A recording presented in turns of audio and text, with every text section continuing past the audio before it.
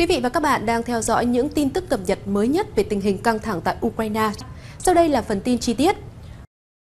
Toàn cảnh diễn biến mới nhất chiến dịch quân sự của Nga ở Ukraine tối 22 tháng 3. Quân đội Nga đã chiếm được 50% thành phố Mariupol, nhưng chiến sự vẫn rất quyết liệt. Lần đầu tiên Nga và Ukraine trao đổi tù binh với nhau. Chiến sự khốc liệt trên tất cả các hướng. Chiến dịch quân sự đặc biệt của Nga tại Ukraine đã bước sang ngày thứ 27, 22 tháng 3 năm 2022 với những diễn biến mới rất phức tạp. Vào lúc 10 giờ 30 phút sáng ngày 22 tháng 3, phát ngôn viên Bộ Quốc phòng Nga, Thiếu tướng Igor Konashenko thông tin những diễn biến chiến sự mới nhất. Trong ngày, không quân chiến thuật và không quân lục quân Nga đã tấn công 137 cơ sở quân sự của Ukraine. Trong đó có 6 trung tâm chỉ huy, điều khiển và trung tâm thông tin liên lạc, hai cơ sở lắp đặt nhiều hệ thống phóng tên lửa, một hệ thống tên lửa phòng không, 8 kho vũ khí và đạn tên lửa, pháo binh, cũng như 101 điểm tập kết trang thiết bị quân sự. Các hệ thống phòng không của Nga đã bắn hạ 14 máy bay không người lái của Ukraine, trong đó có một chiếc Bayraktar TB2. Một nhóm thợ săn đêm bao gồm trực thăng KA-52 và Mi-28N đã tiêu diệt 9 xe tăng, 7 xe chiến đấu bộ binh và xe bọc thép của Ukraine trong các cuộc không kích ban đêm. Tổng cộng kể từ khi bắt đầu hoạt động quân sự đặc biệt, Nga đã phá hủy 230 máy bay không người lái, 181 hệ thống tên lửa phòng không, 1.528 xe tăng và các phương tiện chiến đấu bọc thép khác, 154 bệ phóng tên lửa, 602 khẩu pháo giã chiến và súng cối, cũng như 1.312 đơn vị xe quân sự đặc trùng của Ukraine. Trong khi đó, Bộ Tổng tham mưu các lực lượng vũ trang Ukraine tuyên bố, tính từ ngày 24 tháng 2 đến ngày 22 tháng 3, đã loại khỏi vòng chiến đấu 15.300 quân nhân Nga, phá hủy 509 xe tăng, 1.556 phương tiện chiến đấu bọc thép, 252 khẩu pháo, 80 dàn pháo phản lực phóng loạt, 45 hệ thống phòng không, 99 máy bay và 123 trực thăng, 1.000 xe quân sự đặc trùng, 3 tàu nhỏ, 70 tác nhiên liệu, 35 UAV chiến thuật và 15 thiết bị khí tải quân sự đặc trùng. Về tình hình chiến sự trên hướng Bắc, giao tranh diễn ra quyết liệt ở Kiev.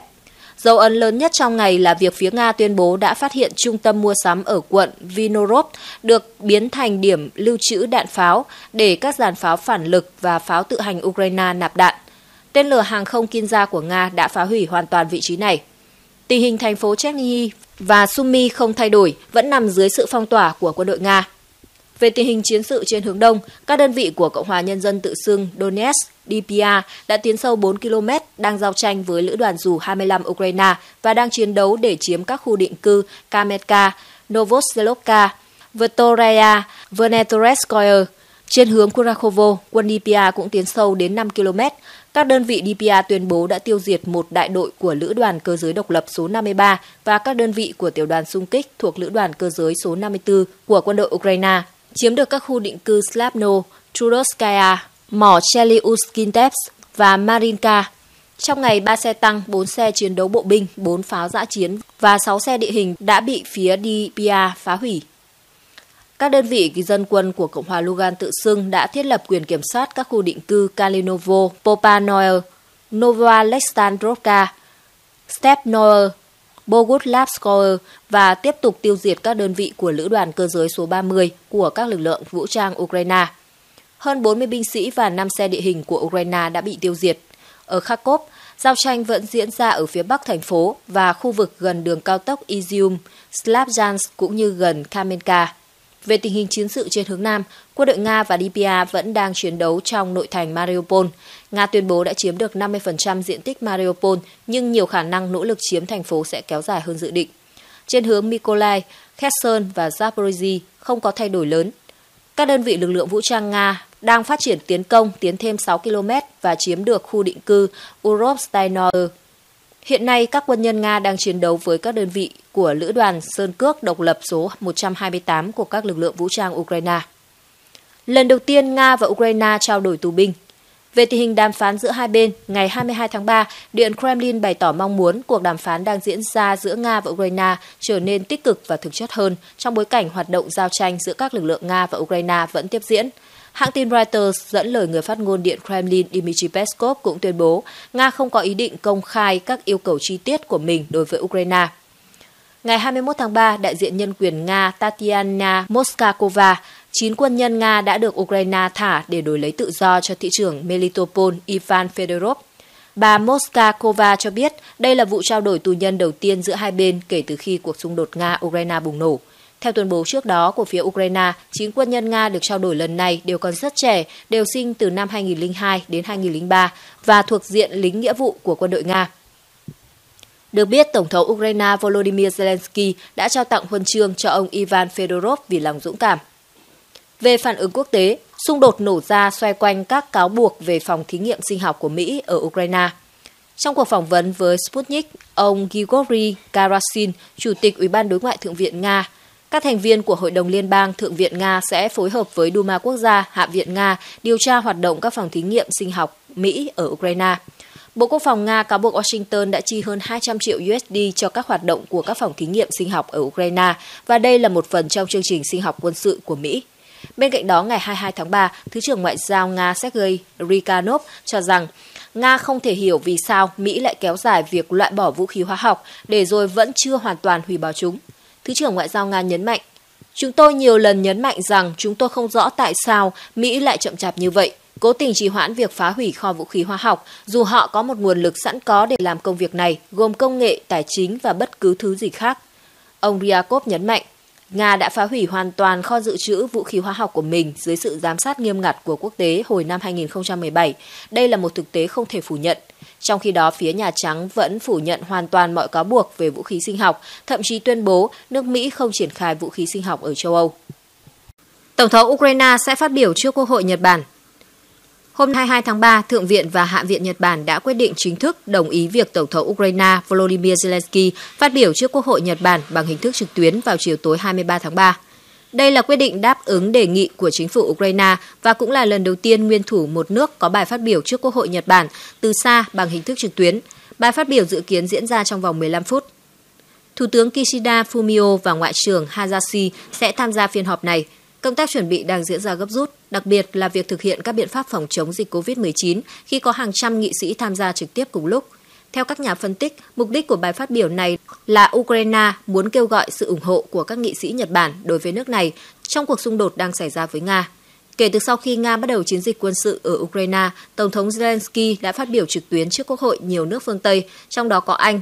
Ông Zelensky cũng đã có bài phát biểu trước Quốc hội Mỹ vào ngày 16 tháng 3 vừa qua, kêu gọi ủng hộ và cung cấp máy bay chiến đấu cùng tên lửa đất đối không tính năng cao. Thủ tướng Kishida Fumio cam kết Nhật Bản sẽ giúp tăng cường viện trợ nhân đạo cho Ukraine. Hiện tại, Nhật Bản đã quyết định viện trợ nhân đạo khẩn cấp 100 triệu USD cho nước này. Tổng thống Zelensky cảnh báo nạn đói ở các nước vì Nga tấn công Ukraine. Nhà lãnh đạo Ukraine cảnh báo hậu quả của việc Nga tấn công đất nước của ông đã và sẽ được cảm nhận ở nhiều nơi trên thế giới. Điều này xuất phát từ thực tế Ukraine là nhà cung cấp lương thực cho nhiều nước. Trong bài phát biểu trước Quốc hội Ý ngày 22 tháng 3, Tổng thống Ukraine Volodymyr Zelensky mô tả đất nước của ông như một cánh cổng chốt chặn quân đội Nga vào châu Âu. Theo ông Zelensky, trong khi chiến sự vẫn đang diễn ra chủ yếu ở Ukraine, hậu quả của nó sẽ không dừng lại ở biên giới nước này. Điều khủng khiếp nhất là nạn đói đang đến gần đối với một số quốc gia. Ukraine luôn là một trong những nước xuất khẩu lương thực lớn nhất, nhưng làm thế nào chúng tôi có thể gieo hạt dưới làn đạn pháo của quân Nga? Tổng thống Zelensky lập luận trước các nhà lập pháp Ý. Ukraine từ lâu đã được mệnh danh là ổ bánh mì của châu Âu khi sản xuất và cung cấp nhiều loại lúa mì cho châu Âu. Các nước như Lebanon, Ai Cập, Yemen cũng phụ thuộc vào lúa mì Ukraine. Theo hãng tin Reuters, khi chiến dịch bùng nổ, giá lúa mì đã tăng vọt gây khó khăn cho người mua. Bên trong Ukraine, giao tranh cắt đứt các tuyến đường vận tải khiến việc trồng trọt vận chuyển khó gấp bội. Cũng giống như các bài phát biểu trước Quốc hội của một số nước khác, Tổng thống Zelensky kêu gọi hỗ trợ Ukraine chiến đấu với Nga trong bài phát biểu trước Quốc hội Ý. Đáp lại, Thủ tướng Ý Mario Draghi đã ca ngợi sự kháng cự anh hùng của Ukraine và cam kết Rome sẽ tiếp tục viện trợ quân sự cũng như hỗ trợ người dân Ukraine chạy nạn. Tôi muốn nói với Tổng thống Zelensky rằng chúng tôi sẽ sát cánh cùng các vị trong tiến trình Ukraine gia nhập Liên minh châu Âu. Nước Ý muốn Ukraine trong Liên minh châu Âu, Thủ tướng Draghi khẳng định. Ukraine đã đề nghị được kết nạp cho vào khối 27 nước theo quy trình nhanh chóng. Tuy nhiên, theo ông Draghi và các chuyên gia, việc này cần nhiều thời gian vì Kiev sẽ cần làm một loạt các thay đổi để phù hợp hơn và hội nhập toàn diện với khối. Nhà Trắng nói về việc Tổng thống Biden không tới Ukraine, bố trí an ninh rất đau đầu và phức tạp. Ông Biden không có kế hoạch đến Ukraine, thư ký báo chí Nhà Trắng cho biết. Thư ký báo chí Nhà Trắng Jen Psaki cho biết khả năng Tổng thống Mỹ Joe Biden thăm Ukraine chưa được tính đến, nhưng có một vài lý do đằng sau quyết định để Tổng thống Mỹ không đi vào vùng chiến sự. Chúng tôi chưa tính đến lựa chọn này, bà Saki nói khi được hỏi trong cuộc họp báo hôm 21 tháng 3 liệu chuyến đi đến Ukraine đã được cân nhắc hay chưa. Trên Twitter, bà cũng nói rõ rằng ông Biden không có kế hoạch đi du lịch đến Ukraine. Người phát ngôn nói rằng đối với bất kỳ tổng thống nào, việc đi vào vùng chiến sự không chỉ đòi hỏi phải cân nhắc đến an ninh mà còn phải có một lượng khổng lồ các nguồn lực an ninh trên mặt đất – nhưng Tổng thống và nhóm an ninh cảm thấy rằng ông có thể có chuyến đi hiệu quả và có tác động nhất bằng cách triệu tập các cuộc họp với các nhà lãnh đạo NATO, G7, EU tại Bruxelles để xác định cả việc tiếp tục phối hợp quân sự, phối hợp nhân đạo và kinh tế, cũng như đến thăm Ba Lan gần Ukraine để nói về mọi thứ, từ người tị nạn, hỗ trợ người tị nạn và sự hỗ trợ liên tục mà tất cả chúng ta có thể cùng nhau cung cấp. Bà Saki nói, Ông Biden dự kiến sẽ tham gia cuộc hội nghị thượng đỉnh NATO và các cuộc họp khác tại Bruxelles vào ngày 24 tháng 3. Ngày hôm sau, ông sẽ tới Warsaw để gặp người đồng cấp Ba Lan Andrzej Duda để thảo luận về ứng phó với cuộc khủng hoảng nhân đạo và nhân quyền gây ra bởi cuộc xung đột ở Ukraine. Trong khi đó, Thủ tướng Anh Boris Johnson có kế hoạch thực hiện một chuyến thăm chớp nhoáng đến Kiev, mặc dù các cơ quan an ninh của chính quyền ông đang khuyên ông không nên đi trong bối cảnh tình hình an ninh ở thủ đô Ukraine. Moscow thực hiện chiến dịch đặc biệt tại Ukraine vào cuối tháng 2 với cáo buộc rằng Kiev không thực hiện các điều khoản của thỏa thuận Minsk. Hiện Nga đang yêu cầu Ukraine chính thức tuyên bố là một quốc gia trung lập và sẽ không bao giờ gia nhập NATO. Kiev khẳng định cuộc tấn công của Nga là hoàn toàn vô cớ và bác bỏ tuyên bố đang có kế hoạch chiếm lại hai nước Cộng hòa tự xưng bằng vũ lực. Nga-Ukraine thế rằng co trên thực địa và bàn đàm phán dù vẫn rằng co nhau trên thực địa, nhưng cả Nga và Ukraine đều quyết tâm tận dụng bất kỳ một cơ hội nào để tìm ra lối thoát cho xung đột. Mở lối cho hành lang nhân đạo Ngày 20 tháng 3, Nga yêu cầu lực lượng Ukraine tại thành phố Mariupol đang bị bao vây hạ vũ khí để đổi lấy lối đi an toàn khỏi thị trấn, song Kiev đã từ chối đề nghị này. Yêu cầu của Nga được đưa ra vài giờ sau khi quân đội tấn công một tòa nhà mà giới chức Ukraine tuyên bố là một trường nghệ thuật nơi khoảng 400 người đang tạm trú. Đại tá Mikhail Mizintsev cho biết Nga sẽ cho phép thiết lập hai hành lang nhân đạo từ 10 giờ sáng ngày 20 tháng 3 theo giờ Nga dẫn ra khỏi thành phố ven biển, hướng về phía đông để sang Nga hoặc phía tây tới các vùng khác của Ukraine.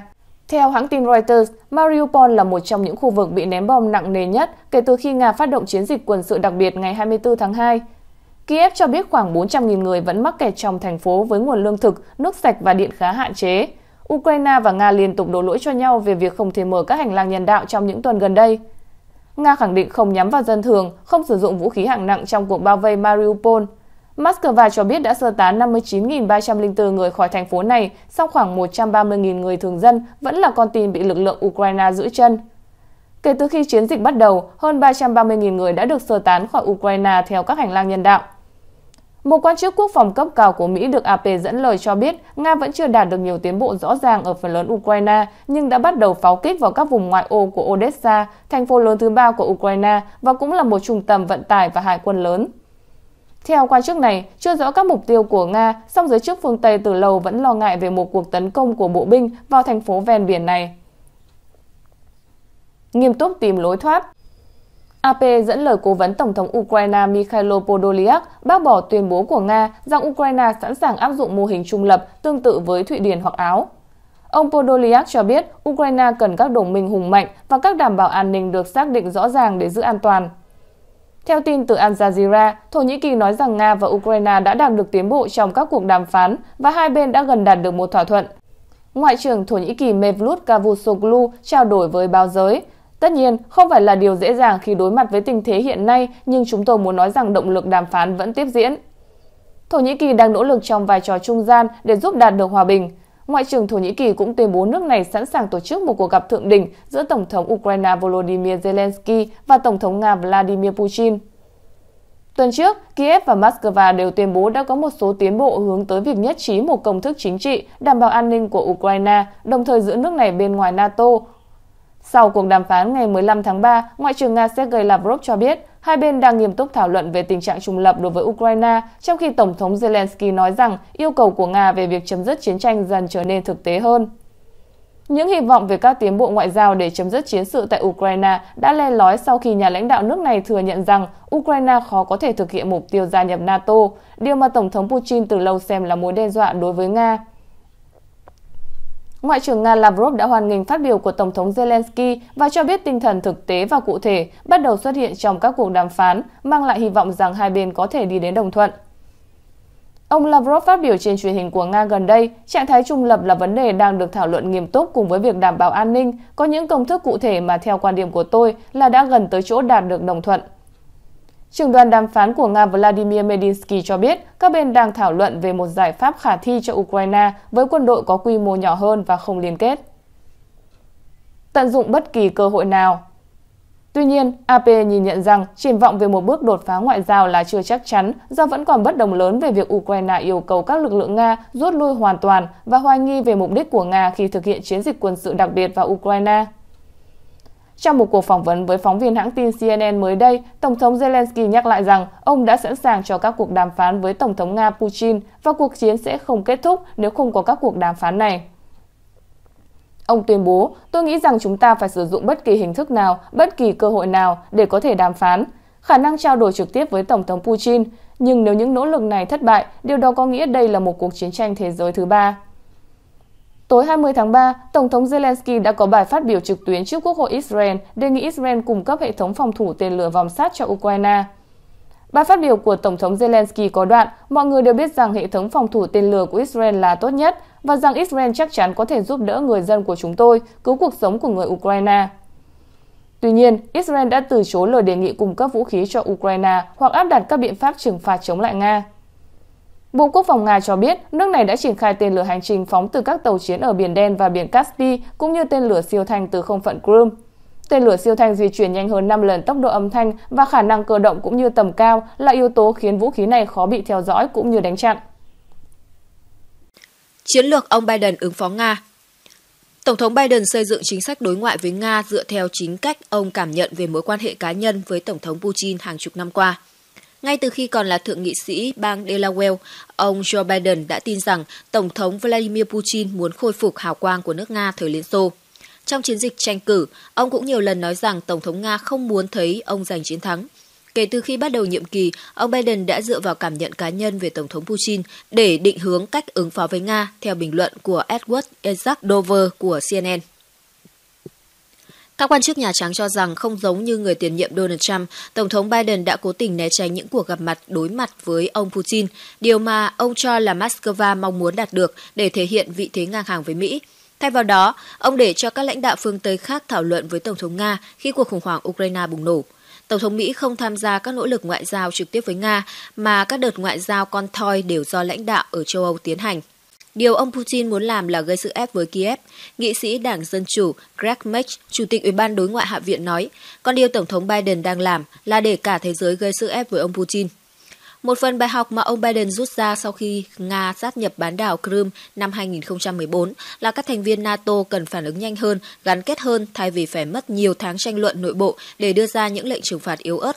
Tuy nhiên, quan chức Nhà Trắng cũng thừa nhận nếu ông Putin tiến quân vào Ukraine từ một năm trước, mọi thứ có thể diễn biến khác rất nhiều sau 4 năm quan hệ Mỹ và NATO giãn nứt dưới thời cựu Tổng thống Donald Trump. Ngay trong chiến dịch tranh cử năm 2020, ông Biden từng đề cập tới cuộc đối đầu giữa Nga và phương Tây. Tổng thống Putin có một mục tiêu quan trọng là phá vỡ NATO, làm suy yếu liên minh phương Tây và làm suy giảm hơn nữa khả năng cạnh tranh của chúng ta ở Thái Bình Dương bằng cách hợp tác với Trung Quốc. Ông Biden nói trong một cuộc phỏng vấn hai năm trước, nhưng nó sẽ không xảy ra khi tôi nắm quyền. Cuộc điện đàm gần đây nhất giữa hai tổng thống diễn ra vào ngày 12 tháng 2, hơn một tuần trước khi chiến dịch quân sự bắt đầu. Sau khi Nga mở chiến dịch ở Ukraine, Mỹ đã định hướng gây sức ép để các đồng minh đối tác tung ra loạt lệnh trừng phạt chưa từng có nhắm vào Moscow, dù Tổng thống Biden gần như không ra mặt.